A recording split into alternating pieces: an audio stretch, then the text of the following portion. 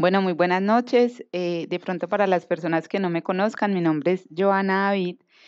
Nosotros somos el grupo de Aprender, Servir y Vivir, donde digamos el objetivo es aprender a conocer un Dios sencillo, un Dios real. Eh, somos un grupo interdenominacional, lo que quiere decir que no nos basamos tanto en una religión, respetamos la religión que cada una de las personas profese, porque queremos dar a conocer ese, Dios sencillo y cercano que muchas de las personas ya hemos logrado experimentar, hemos logrado conocer y que quizás dentro de, la, de las tradiciones en las que nosotros hemos venido siempre hemos visto como un Dios lejano, como un Dios que está allá muy aparte, un Dios castigador, pero que, que queremos que aprendan a conocer ese Dios sencillo, que cada uno logre como identificar de qué manera Dios quiere la relación con cada uno, porque cada uno es distinto para Dios, cada uno es único. Dios tiene un propósito y, y, un, y, una voluntad para cada una de nuestras vidas totalmente distintas. Entonces, esa es la finalidad de nuestro grupo. Cuando aprendemos a conocer este Dios, empezamos a vivirlo y a experimentarlo y servimos porque en el momento de que recibimos tanto de Dios, no nos queremos quedar con eso, sino que lo queremos dar a las demás personas. Queremos que las demás personas también logren experimentar y vivirlo y saber que, que es algo muy sencillo como simplemente disponer del corazón. Nosotros disponemos del corazón y va a ser Dios quien actúa, va a ser el que hace y Él va a ser el que nos va a dar vida, porque muchas veces eh, creemos que estamos vivos, pero mentiras que hay tantas cosas en nuestro corazón por sanar que nos están generando amargura, tristezas, dolores y, Dios quiere de verdad empezarnos a dar la vida o a traer el cielo desde ya en la tierra. Eso es nuestro grupo. Em, y hoy vamos a ver entonces el tema de la gracia de Dios, pero primero vamos a comenzar con una oración, así que nos disponemos para orar. Papá Dios, gracias, gracias te doy Señor por este momento, gracias Padre, yo te doy por cada una de las personas que has traído, por cada una de las personas que nos escuchan y que nos escucharán en un futuro Señor. Yo te pido que seas tú quien tome cada corazón y cada mente como un terreno fértil para que no me escuchen a mí, no me vean a mí, sino que te escuchen a ti Señor. Solamente tú sabes qué necesita cada corazón Solamente tú sabes, Señor, sus aflicciones, sus dolores, sus tristezas, sus cansancios. Y hoy vengo ante los pies de tu altar, Señor, a exponértelos a cada uno de ellos, Padre. Yo te pido, Señor, que, esa semilla que hoy se empieza a germinar o esa semilla que ya está dando fruto, Padre, continúe dando un fruto al ciento por uno, conforme a tu voluntad, a tu propósito, Señor. Y yo te pido, Señor, que hoy les hables directo al corazón, que hoy cada uno, Señor, logre entender quién es ese Dios cercano, quién es ese papá sencillo, que cada uno, Señor, tenga más sed de conocerte, de amarte, de sentirte a ti, Señor, y de vivir por ti, para ti y en ti, para que tú puedas, Señor, mostrar esa gracia, ese amor inmerecido que, que tú tienes por cada uno de nosotros, esa misericordia y ese deseo, Señor, que tienes de abrazarnos, de cumplir cada anhelo del corazón, de guiarnos, Señor, pero en tu voluntad y en tu sendero. Y así como tú lo dices, Señor, de darnos un yugo que es más suave, que es más ligero, una carga ligera, Señor, para aprender a vivir como hijos tuyos. Yo así lo pido, Señor, y yo te pido, Espíritu Santo, que te pasees libremente en este lugar, que seas tú tocando cada corazón y que salga de mi boca, Señor, cada palabra que ellos necesiten. Si hay algo que no sea de ti, Señor, bórralo, no permita ni siquiera que salga de mi boca. Yo te entrego el control de mis palabras y de mi mente y te pido que seas tú quien actúe. En el nombre de mi amado Señor Jesucristo. Amén, amén y amén. Bueno, entonces vamos a hablar de, acerca de qué es la gracia, pero además de que hablemos de qué es la gracia, yo quisiera como darles unas pequeñas herramientas para que nos fortalezcamos en vivir como hijos de Dios y en la gracia de Dios. Miren, con Dios no hay fórmulas. Nosotros hemos podido comprender de que Dios no tiene que ser el paso uno, dos y tres, porque como les decía, Dios tiene un plan único y una relación única con cada uno.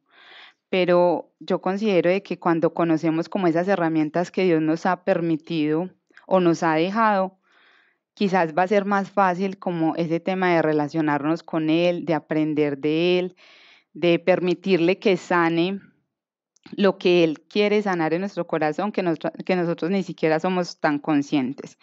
Entonces vamos a comenzar, eh, les voy a comenzar como a leer unos, unas definiciones de acerca de qué es la gracia que me parecieron muy interesantes para ya comenzar como a hablarles acerca de las herramientas. Entonces, ¿qué es la gracia? La gracia de Dios es el don de Dios que eleva a lo sobrenatural a la criatura racional, haciéndola hija suya y partícipe de su vida. La gracia de Dios es la ayuda y la fortaleza que recibimos a través de la expiación del Señor Jesucristo. Por medio de la gracia de Dios, todos los que hayamos vivido resucitaremos. La gracia de Dios tiene como finalidad la gloria de Dios y de Cristo y el don de vida eterna. Es la obra más excelente de la misericordia de Dios. Es el auxilio que Dios nos da para responder a nuestra vocación de llegar a ser sus hijos adoptivos y nos introduce en la intimidad de la vida trinitaria. La gracia de Dios es una ayuda temporal del, al hombre con el objetivo de llevarlo a actuar de forma correcta en determinada situación. Dios nos da la gracia cuando la necesitamos. Miren, a mí me parece muy bonito que me haya tocado este tema. Les voy a contar un poco de, de mí y de los cinco años que ya llevo dentro del grupo y cómo la gracia, el favor de Dios, ese favor inmerecido, me ha llevado a, mirar en retrospectiva quién era la Joana antes sin Dios y quién es la Joana ahora con Dios. No siendo perfecta, teniendo aún muchos temas por sanar, pero de verdad que les puedo decir, viviendo muy distinto la vida, viendo a través de los ojos de Dios. Entonces, ¿Quién era Joana? Eh, Joana era una mujer amargada, Joana era una mujer envidiosa, Joana era, se creía autosuficiente.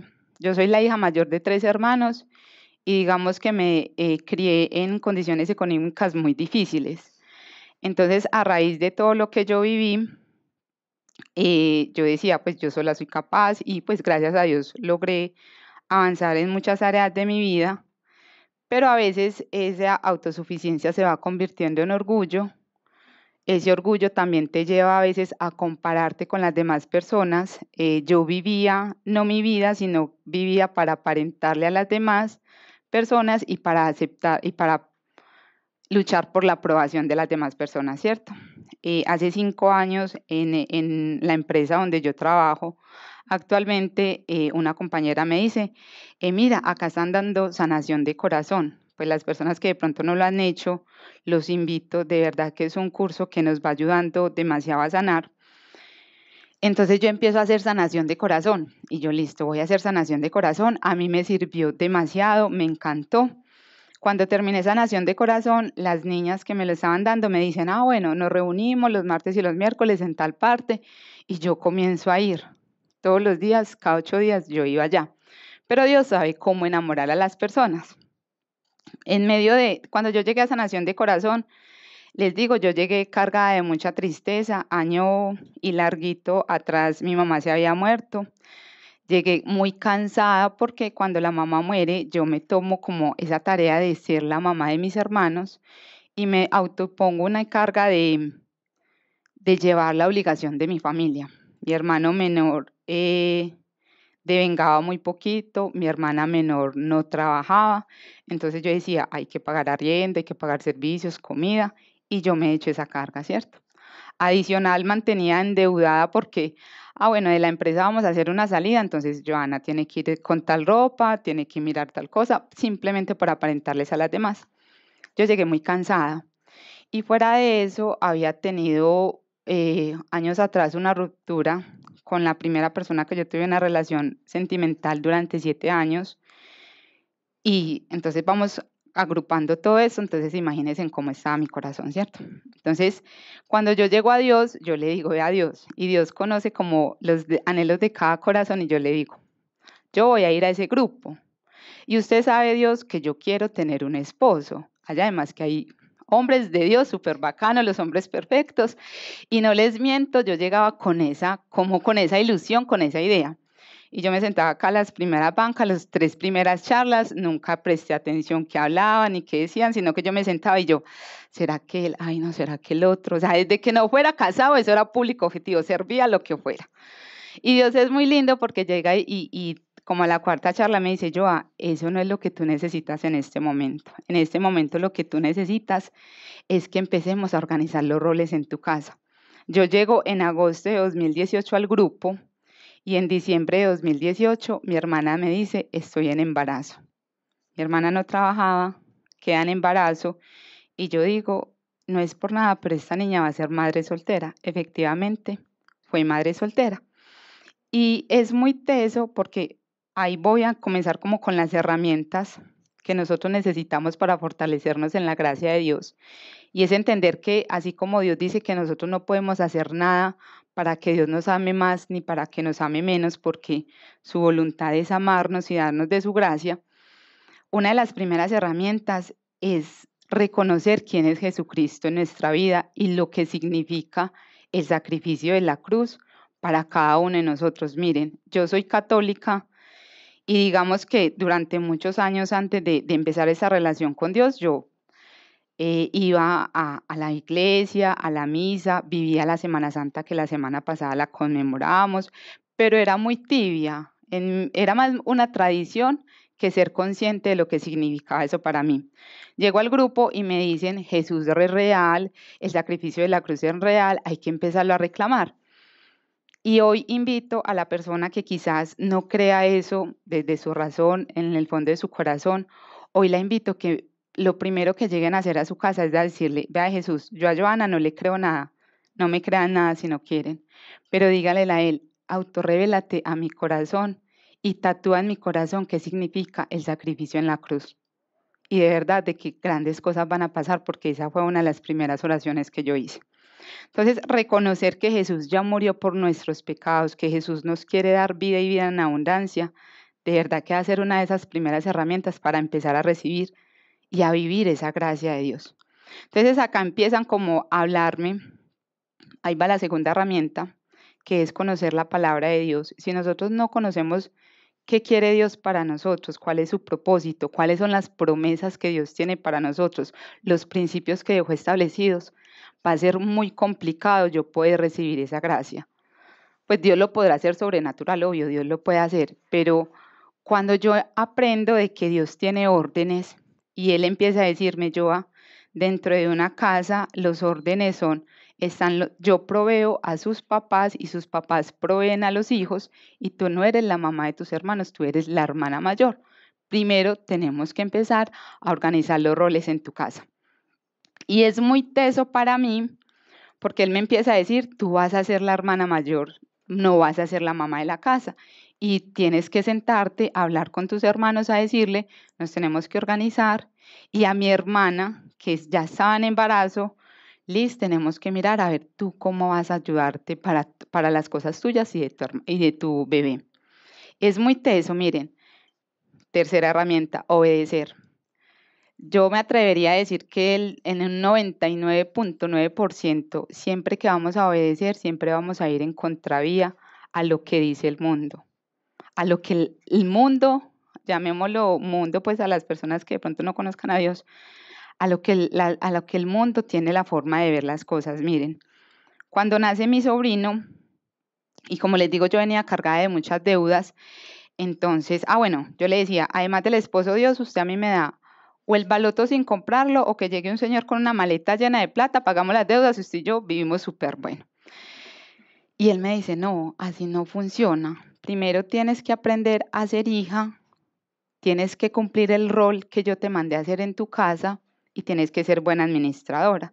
Y vamos a empezar, como les digo, obedecer a veces no es fácil, obedecer duele en la carne, duele en el orgullo, pero de verdad que hacerlo siempre va a ser lo mejor para cada uno. Entonces él me empieza a decir, diles a tus hermanos, yo soy la hermana mayor, todos vamos a pagar obligaciones. Y cuando nació mi sobrino, los que son mamás y, papás acá saben lo que conlleva la obligación de un bebé, demanda muchas cosas. Y para mí era muy duro porque yo decidí creerle a Dios y yo le dije, listo Dios, dentro de tus principios económicos hay algo que a ti no te gustan las deudas.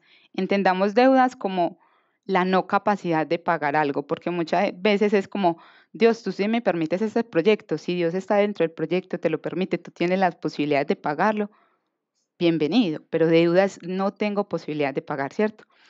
Yo le empiezo a creer a Dios y, y empiezo a aplicar esos principios económicos que Él deja, por eso importante leer la palabra y conocer el que quiere.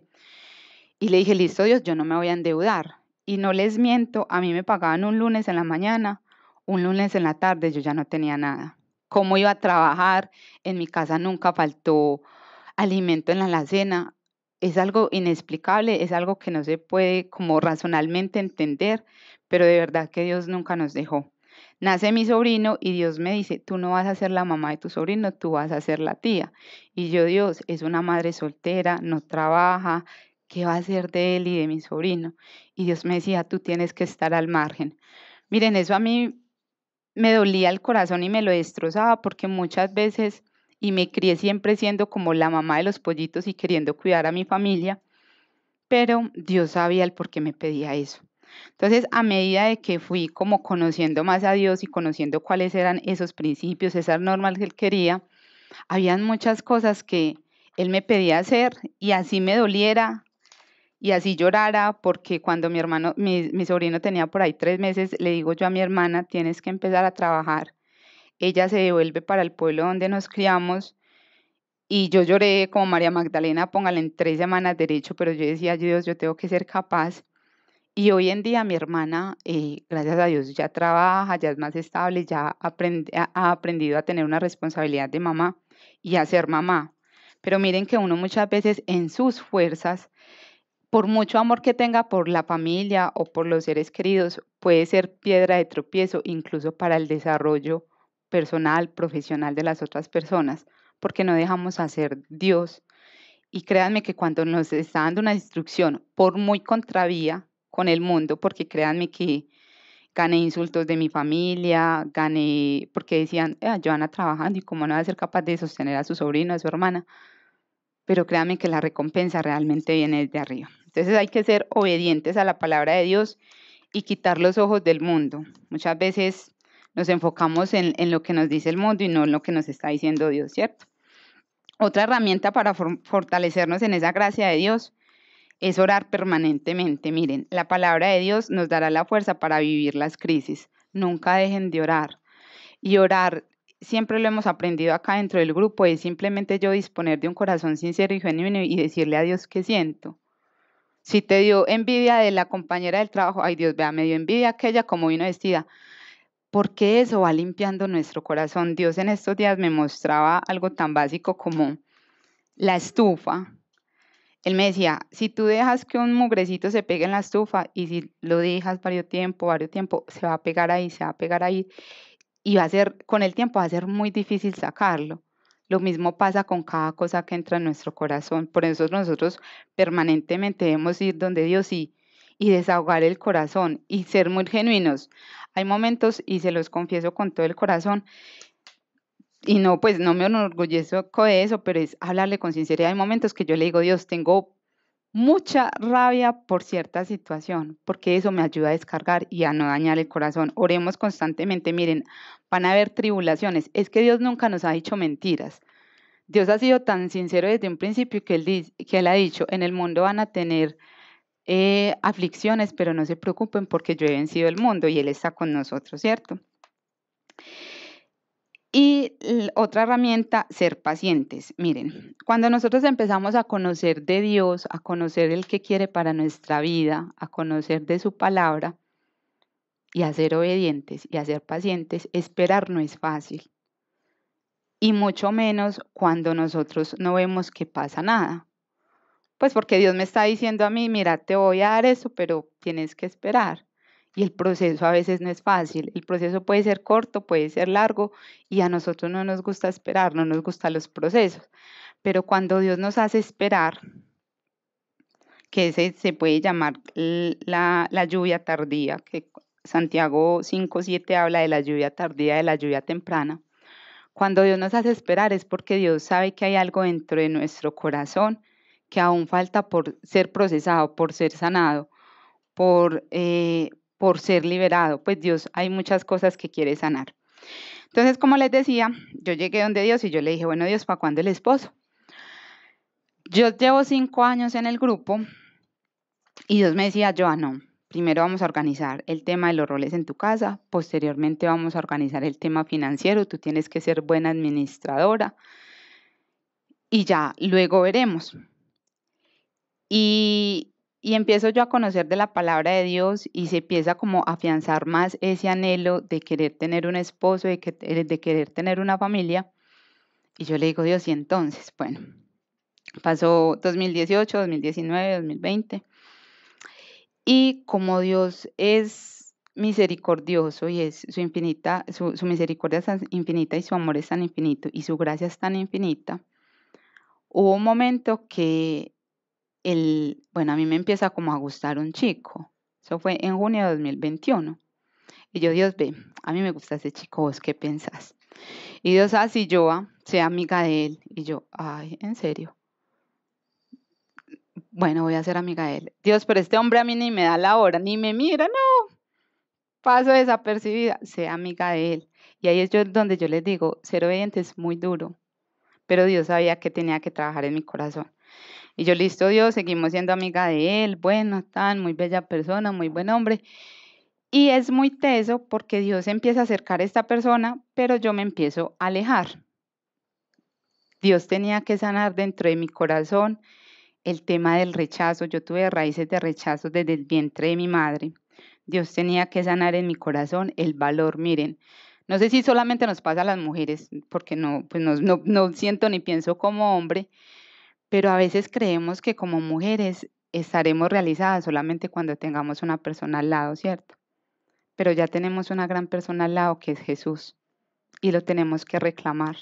Ese va a ser nuestro mejor esposo, va a ser nuestro mejor hermano mayor, va a ser nuestro mejor amigo. Y alguna no me cree, no me crea, pero vayan donde Dios y díganle, miren, cuando ya Dios me quitó la bobada como de estar mirando hombres y de que cada 15 días me gustara uno distinto, que también fue muy bonito porque Dios utilizó básicamente por ahí cuatro hombres muy puntuales para decirme yo hay que sanar esta área, hay que sanar esta área, hay que sanar a esa área. Cuando ya Él me quitó esa bobada, yo empecé a tener intimidad con Dios y yo empecé a escuchar acá. Por eso les digo, cuando escuchemos acá, llevémoslo a la autenticidad de cada uno, pero pongámoslo en práctica. Yo escuchaba acá que decían, ah, no, yo voy donde el Espíritu Santo y le digo, Espíritu Santo, abráceme. Espíritu Santo, me siento sola. Yo iba cada ocho días y yo, buen Espíritu Santo, ya me dijeron que usted abrazaba, que usted consolaba, que usted cumplía deseos, no tengo plata para un helado, quiero un helado. No les miento, llegaba mi hermano y decía, hoy les voy a invitar helado. Y yo, hoy esto está muy bueno, esto está muy bueno, Dios, así, sigue, así sí seguimos. Pero empiezo yo a alimentarme de la palabra de Dios y ya no empiezo a sentir esa necesidad de, un hombre, sino como Dios empieza a mostrarme que había que sanar en mi corazón y de que tenía que ser libre. Y no les miento, pasé, yo creo que llegó 2019, 2021, los mejores años de mi vida, estando sola en mi habitación con Dios y los momentos que quizás para el mundo, fechas especiales para celebrar, yo le decía, Dios, venga, celebrémoslos usted y yo. Y los pasaba muy bien, de verdad que se puede sentir distinto. Dios empieza a sanar, otra herramienta para afianzarnos en la gracia de Dios, el servir. Miren, empieza Dios a darme esa sed y esas ganas de servir y yo me metía en todo. Hay que barrer, Joana iba a barrer. Hay que trapear, hágale, lavar trastes, hágale. Pero Dios ponía ese amor y empecé a dar sanación de corazón. También tenemos un curso que se llama Damas. Y yo decía, voy a ir a servir. Mentiras. La que más recibía era yo. La que más sanación recibía era yo. Yo salía de allá y yo, uy Dios, ¿cómo me revelaste eso? Uy Dios, ¿cómo me dijiste eso? Mire, no se pierdan esa bendición, porque de verdad que es una bendición para cada uno y no tenemos que ser perfectos. Ahorita hablaba con alguien que me decía, pero es que yo no, no hay, no hay un pero. El único pero que nosotros tenemos es nuestra razón. Es simplemente disponer el corazón, porque es que nosotros no vamos a hacer nada. el que actúa es Dios, el que sana un corazón, el que sana una, una situación, el que cambia la situación para bien es Dios. Nosotros en nuestras fuerzas realmente no somos capaces de hacer nada. Entonces Dios me da como esos mejores años de mi vida, llega pues junio y me empieza a gustar este chico. Y Dios, todo lindo, sí, sea amiga de Joana. Y él se acerca y yo me alejo. Y Dios me dice, ¿por qué te alejas? Y, era porque había que sanar todavía muchas cosas en mi vida, inseguridades, miedos, celos, no me creía merecedora, em, creía que él de pronto valía más porque quizás tuvo una situación eh, en su crianza distinta a la mía, porque en el mundo nos enseñan, vale más quizás una posición económica, vale más quizás un prototipo de belleza, pero nunca vale más tu corazón. Y Dios empieza a afianzar ese valor de identidad de hijo.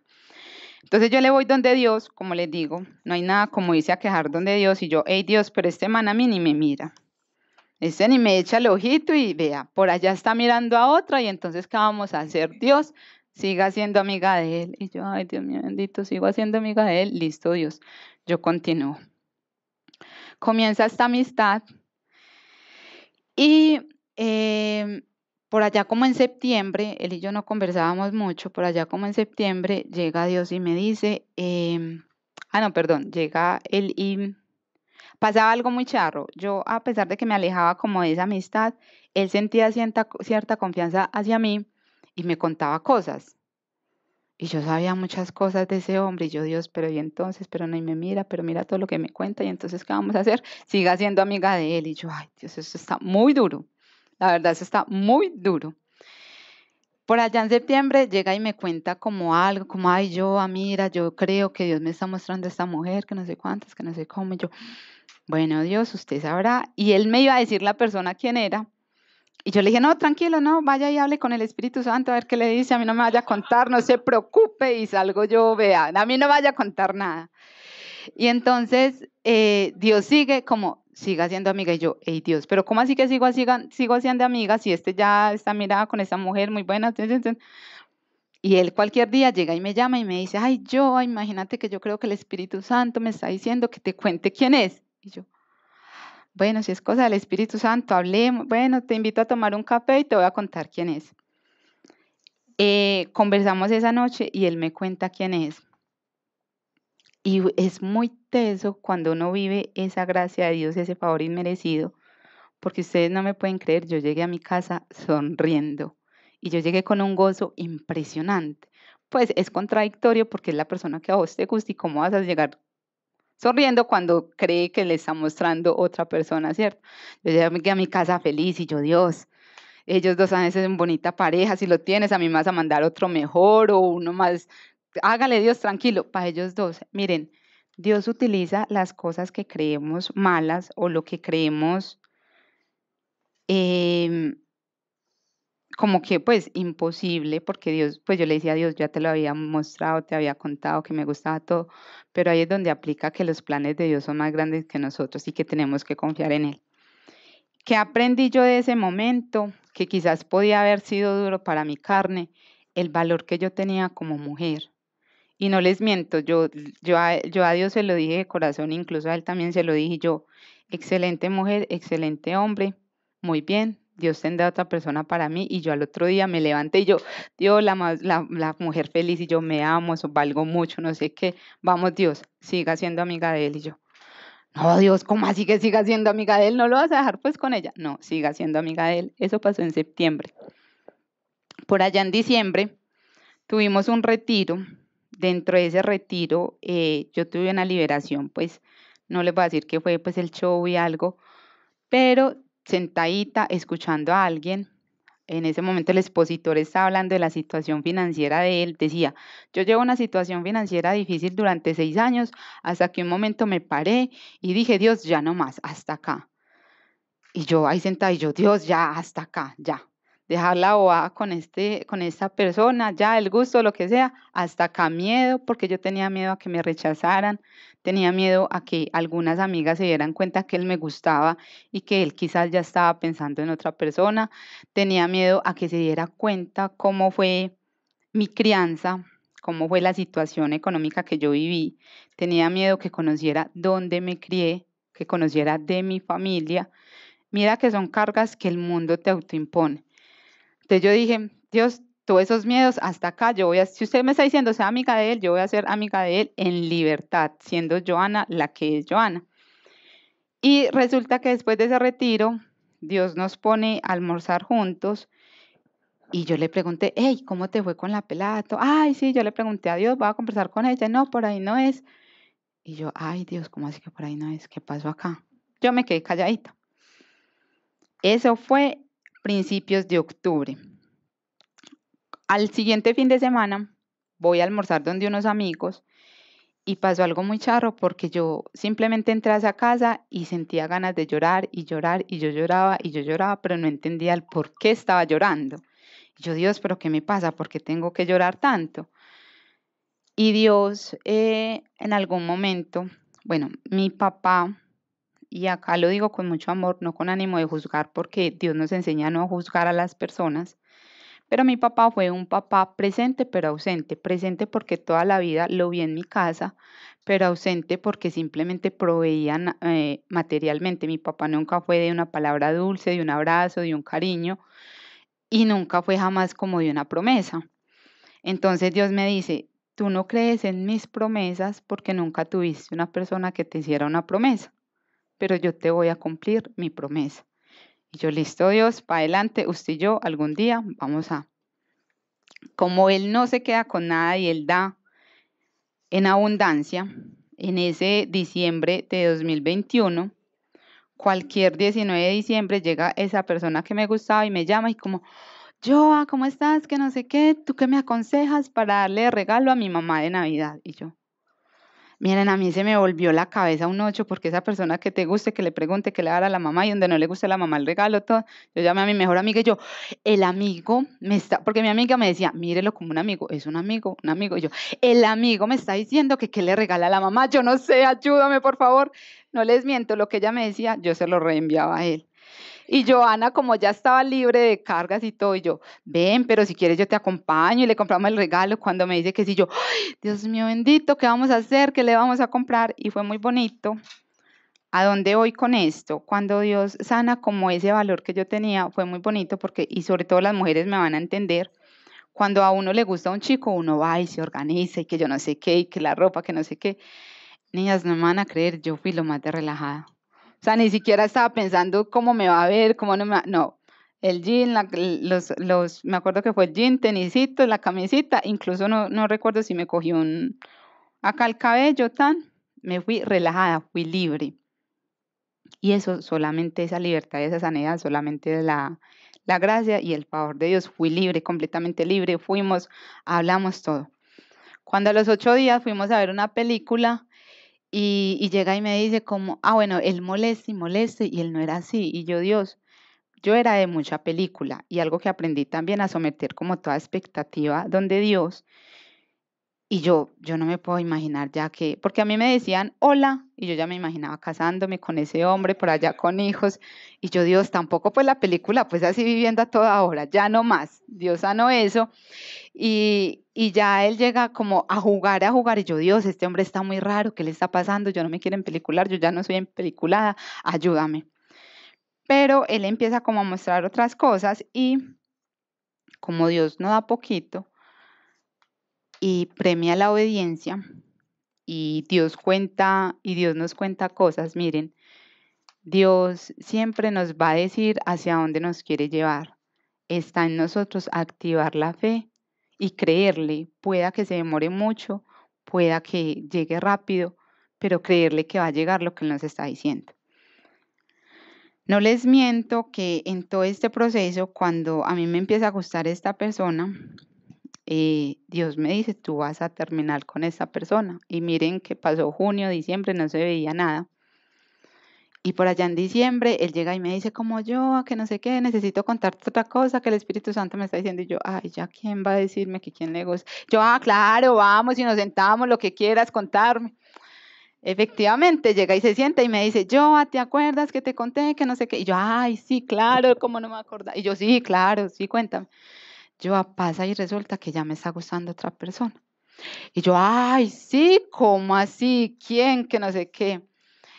Y, ay, imagínate, sí. Y no te, tú no te alcanzas como, pues, de pronto como de quién sos. No, no, hasta que ya el hombre toma fuerzas y me dice, yo a usted. Y yo, ay, usted me gustaba desde junio, pues de no te habías dado cuenta. Llega este hombre y se sorprende. Y es muy bonito, es muy bonito Dios cómo premia la obediencia, porque, porque miren que, que no es mis fuerzas, sino que a través de su gracia Dios también empezó a tocar ese corazón y empezó a sanarlo porque sé que con el caso de la chica también sanó muchas cosas en él. Y cuando les digo que cuando obedecemos vamos en contravía del mundo, quizás alguna persona del mundo puede decir, yo, ah, pero usted es boba, pues cómo está ahí, si le gustaba otra. Cuando estamos en Dios y nos abandonamos en Dios, de verdad que las situaciones son completamente distintas. Y bueno, pues comenzamos una, una amistad en Dios, porque cuando uno aprende a conocer a Dios, de verdad que el obedecerle, el quererle agradar, miren, cuando recibimos esa gracia de Dios y ese favor inmerecido, créanme que nadie va a ser perfecto, nadie va a ser perfecto. Eh, yo sigo cometiendo muchos errores, tengo muchas cosas aún por sanar, pero quiero agradarle a Dios, quiero hacer las cosas bien por Dios pero es como un amor que me sale del corazón, como cuando tú tienes una persona que amas y quieres hacer las cosas bien para que esa persona se sienta bien. Empezamos a, tener esa amistad en Dios y al año eh, él me propone matrimonio, me caso ahorita el 20 de mayo con mi futuro esposo. Entonces, eso es vivir la gracia de Dios. Miren,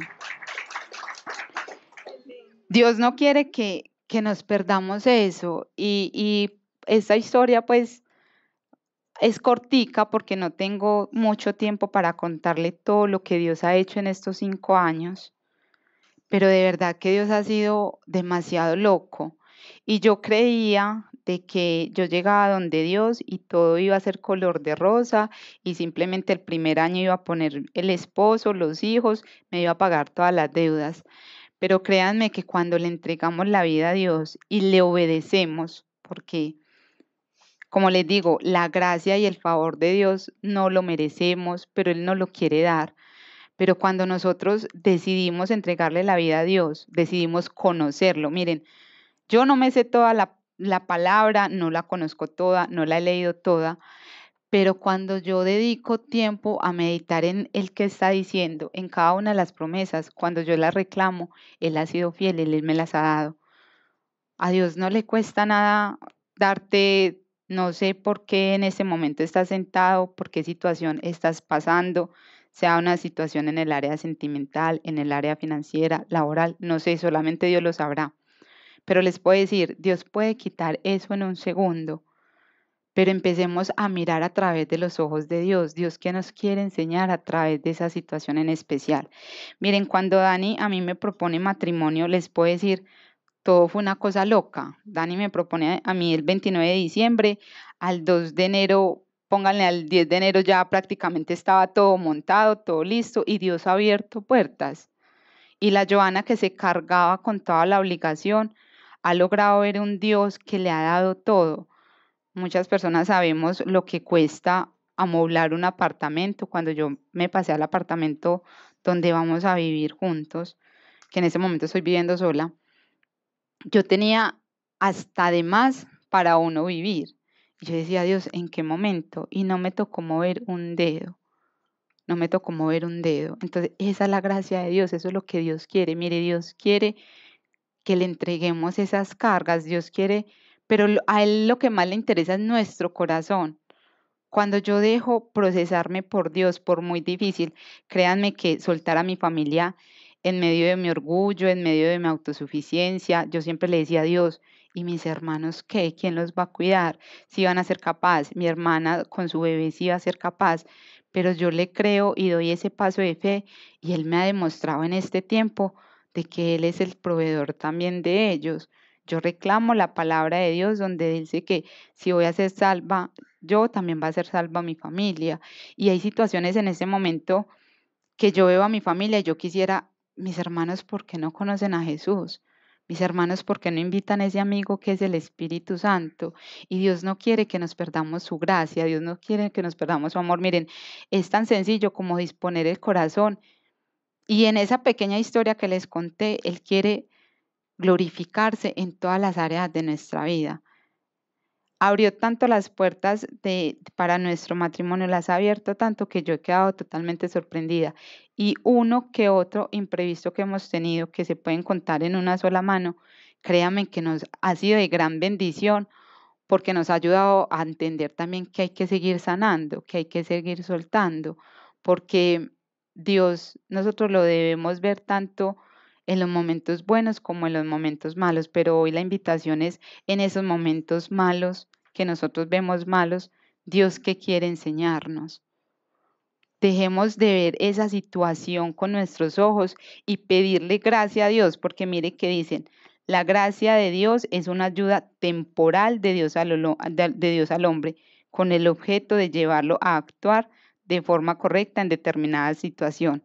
Es el auxilio que Dios nos da para responder nuestra vocación de llegar a ser hijos adoptivos y nos introduce en la, intimidad de la vida trinitaria.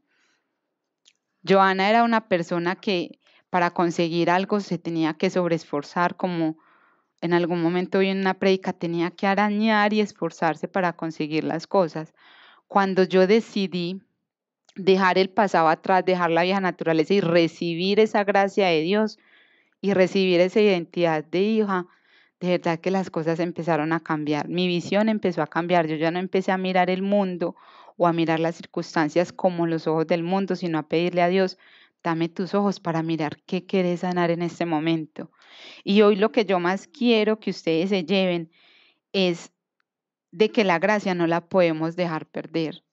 Por eso les digo, si alguno no cree en que Cristo fue y murió por ustedes, de verdad, tengan la tarea esta noche de ir donde Jesús y decirle, yo no le creo a Joana, no me crean, no me crean, de verdad a mí no me crean pero vayan donde Él y le dicen que le estatúe la verdad de lo que significa el sacrificio en la cruz, para que sepan qué es ese amor tan infinito y esa gracia. Es un favor inmerecido, nadie nos merecemos nada. Cuando yo llegué donde Dios, yo decía, y me chocaba esa frase cuando decían, nadie nos merecemos nada. Y yo, Dios, pero si yo sufrí esto, si yo viví esto, no merecía nada. Pero Él me lo quiso dar todo. Y hoy les puedo decir, cinco años después, muchas personas podrán decir, ay, cinco años, tanto tiempo. Pero fue un tiempo que yo no lo he sentido y fue un tiempo donde me dediqué a dejarle a Dios ser Dios en mi vida y me ha costado lágrimas y me ha costado orgullo y me ha costado autosuficiencia, pero hoy les digo, quiero más de Él, quiero más de esa gracia de Dios. Y es el momento de que despertemos esa gracia en nuestra vida. Y son pasos sencillos. Conocerle, obedecerle, conocer su palabra, vivir en iglesia. Para eso nos puso como iglesia. Porque es que muchas veces, ay no, Isa, Isa, ¿qué problemas va a tener? No, Isa vive la vida perfecta. Qué pena yo ir donde Isa contarle este problema. Y nos sorprendemos porque quizás ella tiene problemas más grandes que los míos. Quizás la vida de ella ha sido más difícil, pero Dios la ayuda a levantar y ella quiere dar un poquito de lo mucho que Dios nos ha dado. Vivamos en iglesia, nunca tengan pena de el que van a decir, porque acá siempre nos vamos a mirar con los ojos de Dios. Necesitamos compartir en iglesia, necesitamos alimentarnos, necesitamos dejarnos guiar por Dios. Y créanme que por muy difícil que ustedes vean la situación, por muy difícil que sea obedecerle a Dios, Él no los va a defraudar porque es fiel quien ha hecho la promesa. No se pierdan cada promesa que Dios tiene para su vida. Miren, yo llegué al grupo y lo único que hacía era compararme con las demás mujeres. Lo único que hacía era envidiar y aquella porque tiene y yo porque no tengo. Pero cuando descubrí que Dios tiene un plan único para cada uno, yo decidí abandonarme en los brazos de Dios y decidí que Él me guiara a cuál plan tiene para nosotros. Enfoquémonos solamente la relación con, con Dios, no la relación con el hermano, con el hermano que sea una ayuda para yo irme a sostener o sostenerlo. Pero ya dejémonos de comparar. Empecemos a reclamar esa gracia de Dios. Económicamente, Dios me ha ayudado demasiado. En mi identidad como hija no se alcanzan a imaginar lo que Dios ha hecho. Y no es que yo lo merezca. Ni siquiera la obediencia es porque sí, Joana tan linda, tan buena hija, tan obediente. No, es por la gracia y el favor que Él me ha querido dar. Pero es simplemente disposición de corazón. Miren, el conocer de Dios, el vivir a Dios, no depende de si tú llevas dos minutos, 20 años, 50 años. No. ¿Qué estoy haciendo o qué no le estoy permitiendo a Dios ser Dios? Alguna vez escuchaba de una amiga que decía, es que no clasificamos para un milagro porque sencillamente todo lo queremos hacer en nuestras fuerzas. Y Dios está diciendo, mi carga y mi yugo es suave y ligero. ¿Por qué no le creemos? Y si les cuesta creerle, también le pueden ir a donde Dios y decirle, Dios, no te creo, pero ayúdame a creer. Y hasta en eso nos ayuda su gracia y su favor. Historias son para contarles, pero no creo que tenga mucho tiempo. Ese era como un pequeño testimonio acerca de la gracia de Dios, acerca del favor de Dios en su vida, en mi vida, perdón, y de decirles que de verdad que cuando miro en retrospectiva, yo digo, Dios, gracias, porque fuiste tú quien me sacaste, fuiste tú quien me ayudaste a recibir esa nueva naturaleza, a vivirla, a creerla.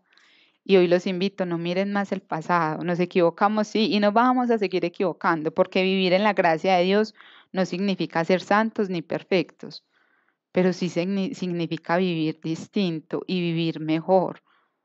No nos tenemos que adaptar a este mundo, somos de este mundo, pero no nos tenemos que adaptar de este mundo y tenemos que ir a llevar a Dios. Porque de verdad que por muy poco que Dios haya hecho en su vida, algo ha hecho. Las personas que están nuevas, los invito a que le digan qué quiere hacer con sus vidas. Pero muchos de los que estamos acá, Dios algo ha hecho. Ese poquito que ustedes creen que Dios ha hecho, compártanlo con los demás. No nos quedemos con ese tesoro guardado. Porque el mundo allá se está muriendo por falta de Dios. El mundo se está muriendo por tristezas, por vacíos. ¿Cuántas mujeres se sienten vacías, solas y no estamos solas? ¿Cuántos hombres se sienten sin valor y ya Jesús ha dado el valor y la identidad como hijos? Esa es mi invitación el día de hoy.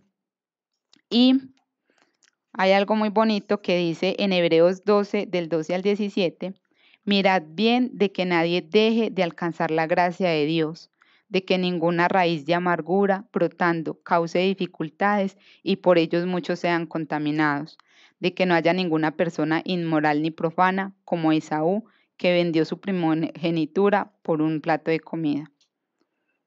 ¿Qué significa crecer en la gracia de Dios? Crecer en la gracia de Dios significa aumentar en la semejanza de Cristo a través del poder inmerecido del Espíritu Santo de Dios.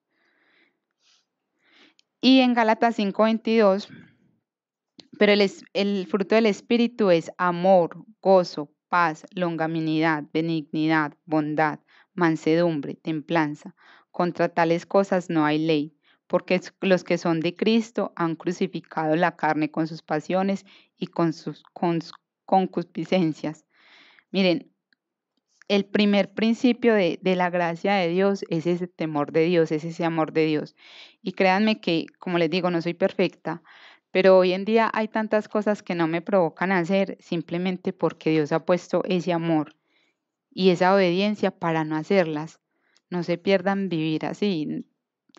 Cánsense de vivir maluco. Y no les digo que no van a tener aflicciones, las van a ver. Pero también cuando le pedimos a Dios mirar con sus ojos, vamos a aprender algo muy distinto de cada una de esas aflicciones. Y bueno, ese es un poco de mi testimonio. No sé si alguien tenga alguna duda, algo que quieran aportar. Preguntas. Por ahí está Moni también. Quien no ha hecho sanación de corazón, de verdad que los invito. Quien no se ha atrevido a servir, atrévanse a servir, que es donde más crecemos. Hmm. Entonces vamos a terminar con una oración. Padre, gracias, gracias te doy, Señor, porque nos has permitido estar acá en esta noche, Señor, aprender de ti. Yo hoy, Señor, quiero presentarte cada corazón. Yo hoy quiero entregarte cada soledad. quiero entregarte cada tristeza. Padre, tú dices que lo que hemos recibido de gracia lo podemos dar de gracia, Señor. Y yo hoy me uno a cada corazón, Señor, y le doy lo que he recibido de gracia, se lo doy multiplicado al 200%, Señor. Si hay un corazón afligido, si hay un corazón solo, Señor, yo te pido a ti, mi amado Jesús, que como lo has hecho conmigo, te hagas encontradizo para él. Que con lazos de amor los llames a tus brazos. Que con lazos de amor, Jesús, seas tú llenando cada vacío, seas tú sanando cada herida. Que seas tu Espíritu Santo yendo hasta lo más profundo de cada corazón y cada puerta que, que está cerrada, seas tú abriéndola, porque tú no muestras, Señor, para juzgar ni señalar, sino que tú muestras para limpiar, para sanar. Hoy te pido libertad para estos tus hijos, Señor. Hoy te pido, Jesús, que seas tú y reclamo para ellos que tú has venido a cambiar, a dar libertad a los cautivos, a sanar corazones tristes y afligidos, Señor, que tú has venido a dar libertad y esa libertad hoy la reclamo para ellos. Padre, si hay algún corazón que aún no te conocen, yo te pido, Señor, que te autorreveles así como lo has hecho conmigo. Que derrumbes estructuras mentales, que derrumbes razón, Señor. Y que te manifiestes, Señor, en tu amor, en tu infinita gloria. Hoy conoces sus cargas, Señor, sean en el área laboral, sentimental, familiar financiera. Solamente tú conoces cada corazón, Señor, solamente tú conoces cada proceso. Pero yo hoy te pido, Jesús, que tú les des tu mente, que tú les des tus ojos para que ellos la miren con tus ojos, Señor, y aprendan que, que hay que sanar, que hay que soltar. Hay alguna autosuficiencia, Señor, algún orgullo con el que yo también he llegado, Padre, tú los ayudes a soltar, a soltar tanta carga y ese peso, Señor, quien ha traído tanto peso en sus hombros, Dios, hoy los vengo a presentar ante los pies de tu altar para que tú le quites esas cargas y les des tu yugo, que es una carga suave y ligera, Señor. Y yo te pido, Padre, que hoy se despierte ese amor y ese fervor por recibir tu gracia. Es que no tenemos que hacer nada, Dios, solamente disponer de nuestro corazón, porque tú has dicho que no hay nada en el mundo que podamos hacer que nos pueda alejar de tu amor, Señor, que hoy se despierte, que se avive esa gracia, Señor, en cada una de sus vidas, que ellos puedan hablar de un Dios vivo, de un Dios real, que se vale hasta el más mínimo anhelo de nuestro corazón para cumplir, Señor, tu voluntad y tu propósito. Hoy te pido identidad de hijos y de hijas, Señor, que ellos se levanten como hijos tuyos, que ellos se levanten renovados, que deseen dejar esa vieja naturaleza atrás, Señor, porque es que tú no nos juzgas por un pasado. Tú nos vas a llevar de victoria en victoria, de gloria en gloria, Padre. Y yo te pido, Padre, que así como tú lo dices en tu palabra, podamos reclamar esa, esa lluvia tardía, esa lluvia temprana, Señor, de que nos aferremos a cada una de tus promesas, porque el fiel quien ha hecho la promesa a Dios, y que cada uno de ellos salga hoy con sed de conocerte, para que tengan un encuentro perfecto como lo tuvo la samaritana, Señor, y que jamás volvió a tener sed porque bebió el agua de la fuente de vida, Padre. Hoy los entrego en tus brazos y hoy te pido, Señor, que seas tú paseándote en sus mentes y en sus corazones. Los bendigo por la autoridad que tú me has dado como hija y todo eso lo declaro, lo establezco y lo creo en tu santo nombre, mi amado Jesús. Amén, amén y amén. Bueno, ¿quién va a orar? Isa.